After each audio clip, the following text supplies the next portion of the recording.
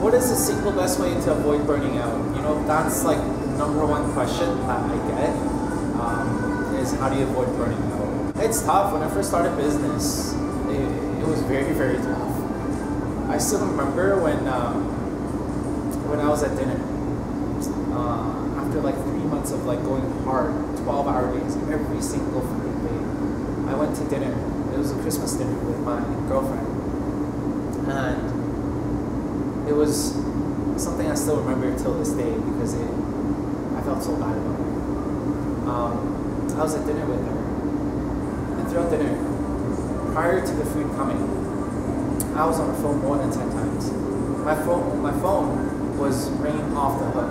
Okay, I was running a tutoring service at that time, and it was actually during final season, the Christmas time, and so everyone was just giving me calls back then back to back calls. Like it felt like that. I didn't feel like I was at dinner. I didn't even know what I ordered. I was just like, hey, I ordered, and I was just in and out of the restaurant. And at one point when I came back, so we were eating at this place where you get to cook your own steak. And when it comes, the steak is already on a hot stone. So when I came back, I was kind of pissed off. Like, why is my steak well done? On. The girlfriend was telling me the steak has been here for 20 minutes. And that really, really hurt me. Like, I was pissed because why is my, my, steak well done? And then to realize that I was actually gone for so long, that the food has already arrived, that I neglected my girlfriend and I took her for granted because I was so involved into the hustle, into the grind of things. That really made me feel so guilty and shameful of what I was doing. And eventually I was burning out. I didn't go back to work. And it made me really reflect of on why I was doing what I was doing. How I should approach this whole thing differently. I mean, a lot of us have these different kind of scenarios that puts uh, puts things into perspective of what is important. Is it all work, or is it all family, or is it all relationship? For me specifically, it's all about the balance between being able to take care of yourself physically and emotionally, taking care of your family, your significant other, and your friends, then your business.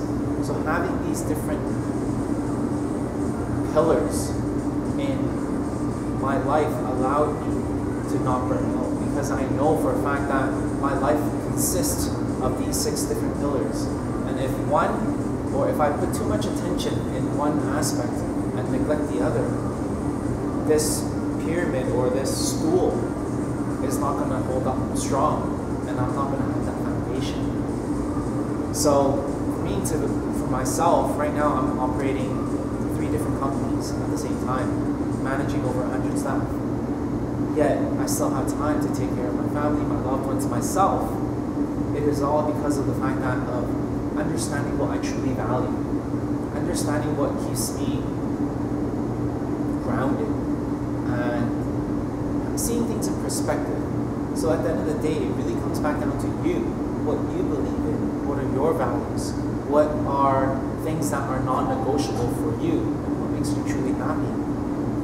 If it's about business success, yes, then you know what, go ahead, go full steam on it. You're never going to burn out if that is what truly drives you. But if you use working as a mask or as a thing to, to stay behind because you're avoiding other problems, yes, of course you're going to burn out. Sooner or later, you're going to burn out, it's, ne- it's never going to be the same. It's not going to be effective work. Now, when I go to work, it's much more effective, it's much more efficient because I know for a fact that I only have this much allotted time to finish my work.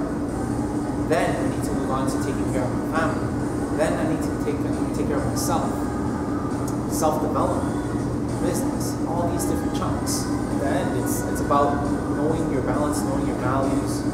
That's what's going to prevent you from burning out. So next time you're thinking about how do I avoid burning out, ask yourself the questions. What do you truly value? What are the non-negotiables? what makes you truly happy? Once you have those answers, hold tight to them, be true to them, be honest with yourself.